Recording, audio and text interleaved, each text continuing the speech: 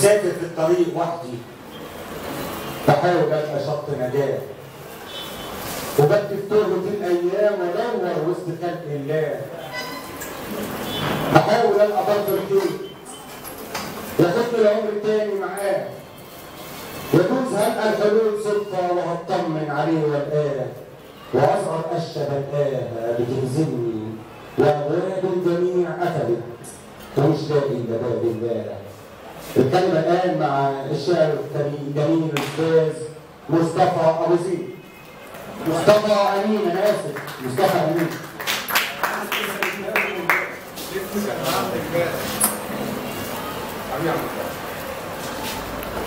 السلام عليكم ورحمة الله وبركاته. عليكم السلام ورحمة الله وبركاته. وبمناسبة آه، أعياد الأم هنقول حاجة بسيطة كده.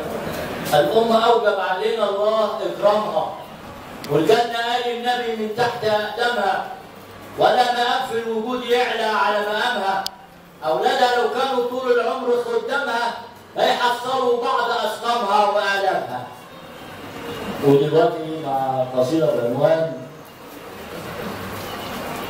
آه يا ليلى أحزاني. آه يا ليلى أحزاني. من الجلاد والجاني. من القسوة من الوحدة.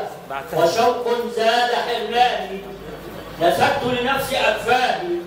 حفرت قبري يا قلبي دفنت ذكر أيامي.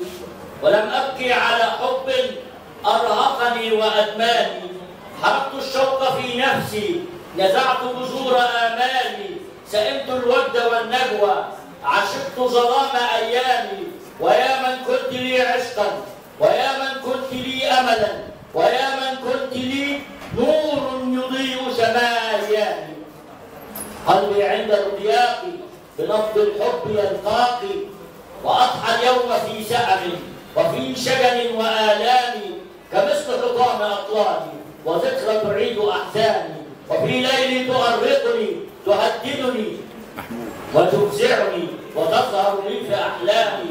تذكرني بأشجاني تذكرني بأوهامي. أعود لشهد من تاني وأشكي إليه حناني آه يا ليل أحزاني آه يا ليل أحزاني. وشكرا لحضراتكم جميعا.